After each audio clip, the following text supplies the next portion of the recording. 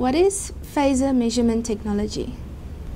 Phasor measurement technology uses devices called uh, PMUs, which stands for phasor measurement units, throughout the, the Eskom grid.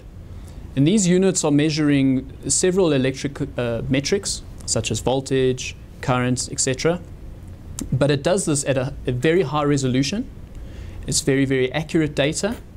And it's also time aligned using GPS technology. This data is streamed up to the National Control Center, where the controllers can use it uh, to, to view the state of the power system. What are the benefits of using this technology?